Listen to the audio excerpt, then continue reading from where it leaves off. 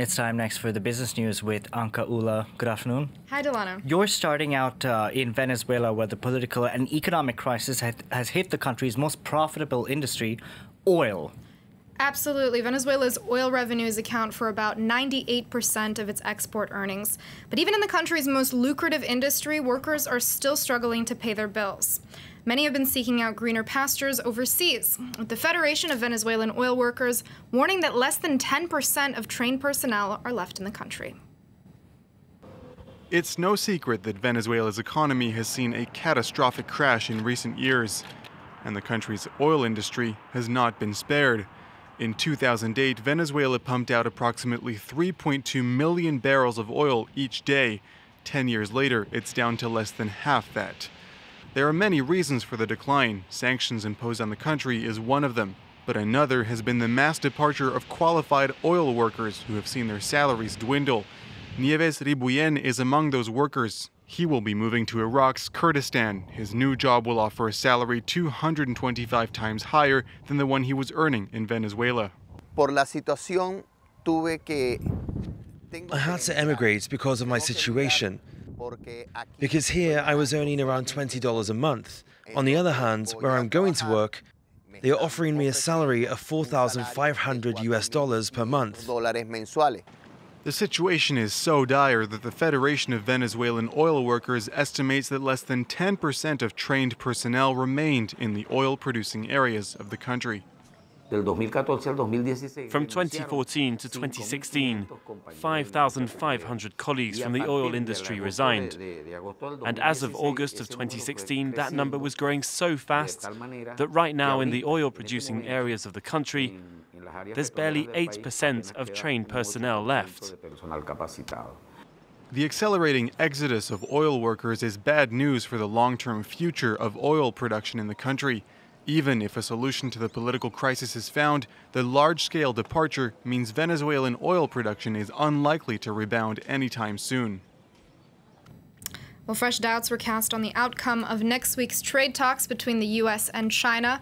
On Thursday, Donald Trump said he wouldn't be meeting with Chinese counterpart Xi Jinping before the March 1st deadline.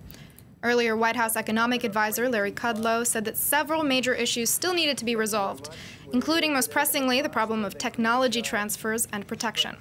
But Kudlow said the deadline would not be pushed back, leaving open the possibility that higher tariffs will take effect then. The March 1st deadline is still intact, and uh, hopefully they will make some additional progress. Well, the president has said a number of times that he expects to meet with President Xi on trade. When and where is totally up in the air at the moment.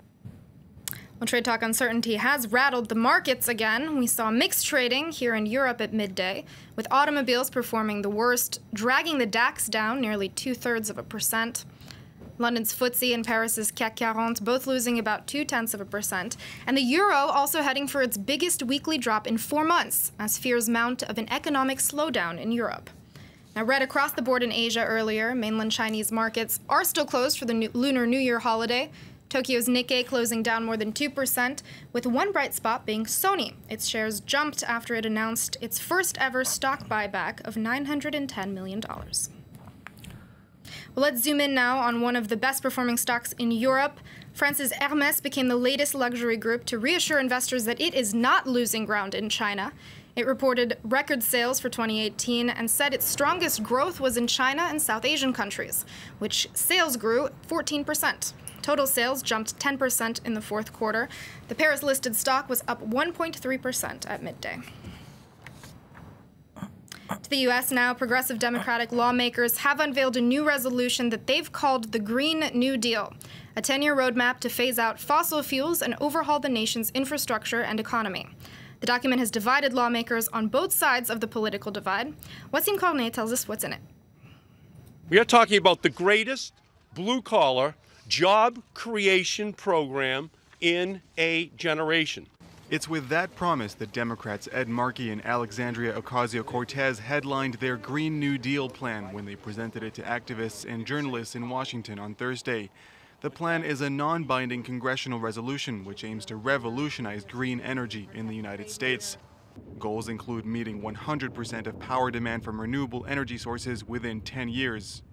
U.S. President Donald Trump, who has repeatedly called climate change a hoax, has justified the U.S.'s withdrawal from the Paris Climate Agreement by saying it would cost the country millions of jobs. But proponents of the Green New Deal say instead that it will lead to a massive rise in jobs. We can create high quality jobs and enforce labor standards, guarantee rights to retirement security and health care, and conduct inclusive decision making. And according to a study by the UN's International Labor Office, they may be right. The study says a transition to clean energy would create some 24 million jobs globally in the next 11 years.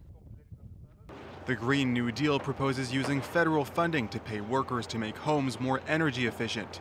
The plan also aims to include expanding electric car manufacturing, building charging stations everywhere across the U.S., and expanding high speed rail, projects that will all create jobs. But for now, the cost of implementing the deal is unclear and has not been mentioned. Despite its name, much of the Green New Deal isn't very new. Several of the proposed policies were included in Barack Obama's 2009 $831 billion stimulus package. Well, while climate change could create jobs, it's also threatening to eliminate others. A study by the University of Colorado found that by 2050, climate change will cut ski resort winter seasons by more than 50%. Lower elevation resorts are being hit the hardest, including some in Belgium and France. Take a listen. Ski resorts are feeling the heat. According to NASA, the five warmest years on record all took place after 2010 leaving businesses struggling, relying on expensive snow machines to adapt to the conditions. It is almost impossible to work with season passes because we are never sure there will be snow.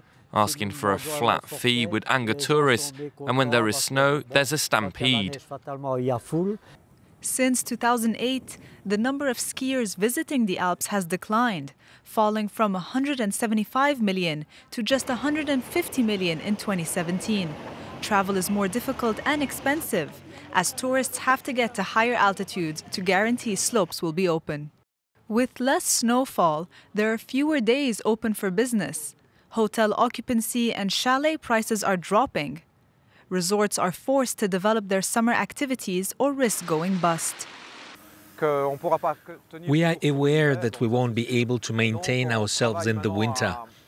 So we are now trying to develop summer activities. We think about the summer now for all our projects.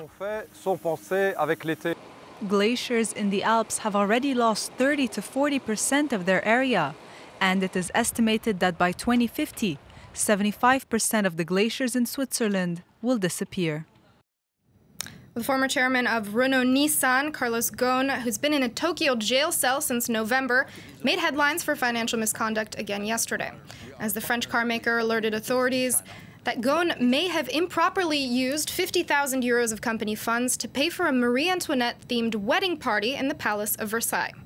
Now, the spokesman for Ghosn's family says that he will reimburse the palace, saying that he was made to believe that renting the venue was free. Well, finally, for me, the high schooler who found and reported a major bug in Apple's iOS software is being compensated by the company, which says it will also help pay for his education.